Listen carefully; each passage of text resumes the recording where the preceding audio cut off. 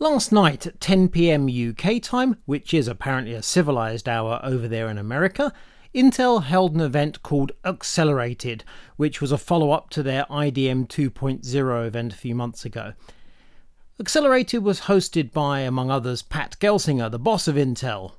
With that, let's go through some live Q&A. I'm excited to be here in the studio today with Anne, Sanjay, and Babak, and we'll be happy to take questions. So, operator, how about a reminder of how folks can ask questions and then send us the first one?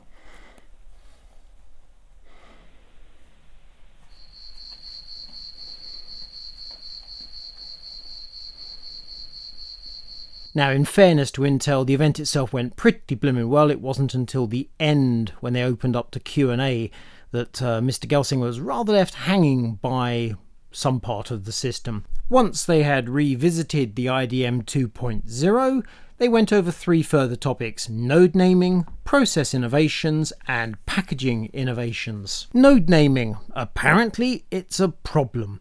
According to Intel and many other people they've spoken to, Intel is currently on 10 nanometer, just about, and they're working on 7 nanometer, but TSMC and Samsung are on 7 nanometer and 5 nanometer and 8 nanometer, which are smaller nanometers than Intel's nanometers and therefore it sounds as though Intel's behind the times. So the fact that Intel's 10 nanometer is something like equivalent to TSMC's 7 nanometer, this is problematic. What they need to do is to rename their nodes. The thing is, this topic came up a few months ago when an Oregon newspaper got wind of this, and at the time the thought went around of is this a good idea for Intel to rename their nodes? And many of us thought no, it wasn't. Anywho, Intel is determined to press ahead. We have the current 10 nanometer, and then we're going to have Intel 7, Intel 4, Intel 3, and Intel 20A, and no, that's not 20 amp. The A refers to angstrom, which is 0.1 nanometers, so 20A alludes to 2 nanometer, but they're not actually saying 20 angstrom, they're saying 20A, but they're saying angstrom. The current process is 10 nanometer superfin, that is in high volume production in Oregon, Arizona, and Israel. And then we have what would have been 10 nanometer enhanced superfin, which is now going to be called Intel 7, obviously alluding to 7 nanometer, even though it isn't. And here we're looking at a 10 to 15% improvement in transistor performance per watt, i.e., not absolute extra performance by sticking in more power but extra performance per watt, extra efficiency. This process was already on the roadmap, it's just changed name. And we're going to see Intel 7 in Alder Lake, which is due practically any day now, and also Sapphire Rapids. After that, we have a 7 nanometer process that's going to be called Intel 4, and this is where we start to lose our minds and just refer to the Intel number and not so much what it is behind the scenes. Intel 4 is going to be used in Meteor Lake on the client desktop and Granite Rapids in the data center. Meteor Lake, they're talking about the compute tile on Intel 4, i.e., chiplets, and taped in in Q2 2021. Obviously, what we're looking for next is tape out. Intel tells us that Intel 4 will be their first node to fully embrace extreme EUV lithography. Hang on to that thought for a second. So ASML, clearly significant company. They're the fellas who are supplying EUV equipment to TSMC at present and to Intel. Uh, there's one company in the world doing this equipment. It is ASML in the Netherlands, which essentially is a consortium of companies across the entire industry. Then we move on to Intel 3, which will be manufacturing in the second half of 2023. And if you look down at the notes below, so they're looking at 18% improvement in transistor performance per watt. And among other things, they're saying there'll be increased use of EUV. So how Intel 3 compares to Intel 4 in respect of EUV, we're not entirely clear, but clearly EUV is a critical technology. And then we move on to 20A, which is kind of 2 nanometer sort of. We're now in the first half of 2024, and it's now worth looking at Intel's processes from the 8088 chip in 1979 right the way up to Ice Lake in 2020. If you take a slice of that and look at the more recent processes from 90 nanometer all the way up to 20A in the future, you can see that the path stretches out and then Intel's hoping to collapse the 10 nanometers Intel 7, Intel 4, Intel 3 and Intel 20A into a remarkably short period of time. The snag, of course, is that we are being told about Intel's next major architecture, Ice Lake on 10 nanometer, absolutely years ago, and it took a terribly long time to arrive. So the fact that Intel's telling us about their various process innovations, strain silicon, high K metal gate, the first FinFET, now Superfin. They've done those things in the past, but the most recent advances took a terribly long time to arrive. It's very hard to believe that Intel's current roadmap is anything more than hopes and expectations. Clearly, if Intel can deliver on this new roadmap, absolutely brilliant. But recent history makes us skeptical. That roadmap looks ambitious. Now, 10 nanometer we understand, 7 is a half node, uh, 4 full node, 3 is that a full node or a half node? Then we get 20A. So Intel's getting some hustle on here. 20A, where they changed their naming from nanometers to this new metric, is clearly something new. And Intel does indeed have some new technologies that they're actually talking about in some detail here.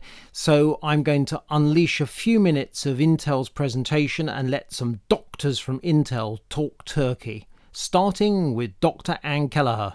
Intel 20A will be another watershed moment in process technology when we introduce it in the first half of 2024.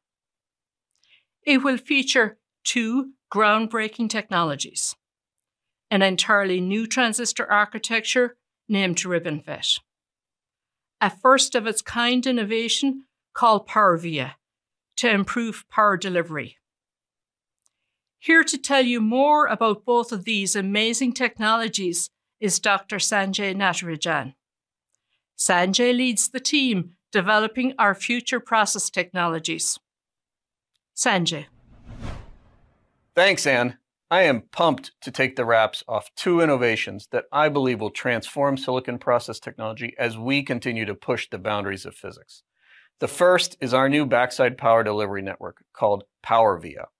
This is a unique technology developed by Intel engineers and will make its debut in Intel 20A. Traditional interconnect technology connects on top of the transistor layer. With the resulting intermixing of power and signal wires, routing inefficiencies arise, hampering both performance and power.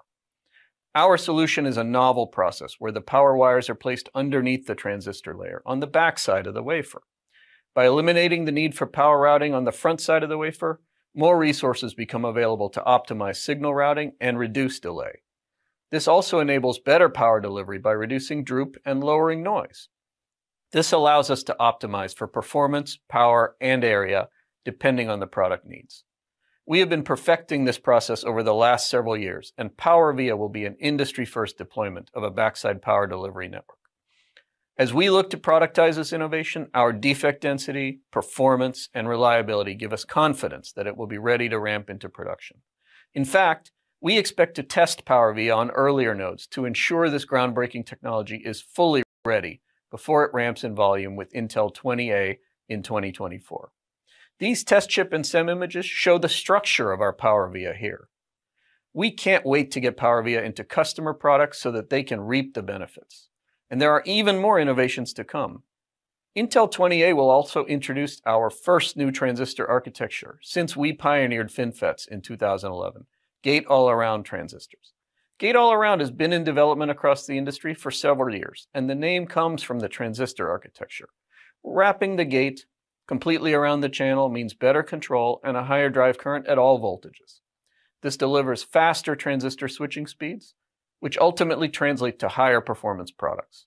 And by stacking multiple channels, called nanoribbons, we can achieve the same drive current as multiple fins, but in a smaller footprint.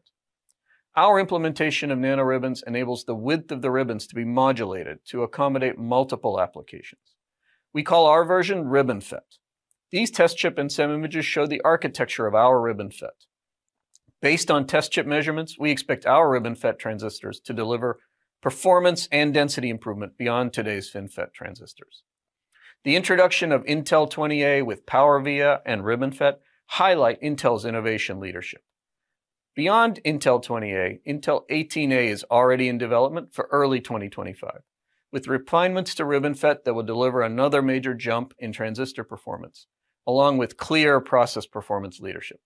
But you're going to have to wait a little longer to hear more about that. Because predictability is critically important to our customers, we have put a concerted focus on schedule predictability throughout our development process.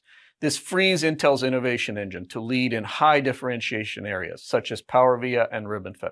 I am truly proud of the team and can't wait for our customers to realize the incredible benefits of products built using these technologies. Intel went on to talk about packaging technologies such as EMIB, which are certainly interesting and indeed they would say essential, but I haven't got the first idea whether a change from 55 nanometer bump pitch to 45 to 40 is significant or not till we see the product in action. Uh, how can we possibly judge it? It's just part of the specification, it's how they make these things. It was interesting to see them telling us that Meteor Lake with Foveros will have a 36 micron bump pitch, which sounds very small, and a monumental thermal range of 5 to 125 watts. 5 watts with Foveros sounds entirely plausible, 125 watts sounds like a nightmare from the engineering point of view. So when these products come out and we get a chance to judge them, we shall see. I can't decide if it's brave or stupid of Intel to show us a slide about the Ponte Vecchio GPU, which is an example of both EMIB and Foveros, as at the moment they haven't produced the thing. We believe GPU chiplets are coming out of TSMC at the moment, and we're waiting to see the Aurora supercomputer built, shipped, and in action. As things stand, this is just a slide. And then we move on to the slide with continued leadership in advanced packaging with EMIB, Foveros, Foveros Omni, Foveros Direct. The point with these technologies is not just that Intel is making a claim that they can do clever stuff, it's that they can design, fabricate, and package processors in the USA, or at the very least away from the Far East. So you have the security angle uh, which obviously Intel can claim for their own. At the moment, other companies cannot. And then we come to the closing words from Pat Gelsinger. So, continued leadership in packaging, well, perhaps. Clear path to process performance with a little star leadership in 2025. And that is process performance per watt. Now, the thing is, Intel has been a customer of TSMC for many years, therefore, clearly, Intel has some insight into TSMC's roadmap. Intel clearly has a relationship with other companies if they know what Samsung is doing. So Intel is capable of making an informed estimate of where those companies will be manufacturing in a number of years' time. But of course, the question is what will Intel be doing in a number of years' time? Because Intel's recent record has been absolutely terrible. If they can turn the ship around really quickly and get back on track and keep it there, then absolutely fine. Those roadmaps that we've seen look really impressive, but Intel has to deliver. And now, as they are a foundry, they've got customers to keep happy. So, Amazon Web Services, Intel has signed them up as a packaging client. We don't know what it is they're going to be packaging, but that certainly sounds promising. And then Qualcomm on the 20A process. As to what they'll be manufacturing, how much of Qualcomm's output they'll be manufacturing, we really don't know. Uh, certainly, Intel has burned a number of customers in the recent past. After all, you could argue that the 5G debacle with Huawei uh, was partly at Intel's door. Where, after all, have Ericsson and Nokia been? Thanks to Intel 10 nanometer, they've been in trouble. So customers such as AWS and Qualcomm, they will have approached Intel with their eyes wide open, and we ain't going to know how that's going to work out for some considerable time. So we've seen some impressive claims from Intel. The reasoning is crystal clear as to what Intel is going to deliver over the next few years. Frankly, we haven't got a clue. But they've made some bold claims. Pat Gelsinger has pretty much staked his reputation on delivering on these promises, and fair play to him for that. Right now, they've got a mountain to climb. But hey, they're accelerating.